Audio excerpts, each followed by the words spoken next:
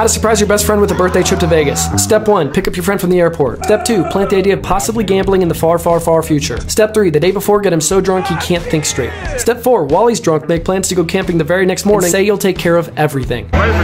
Step 5. Tell everyone at his birthday party except for him. Way.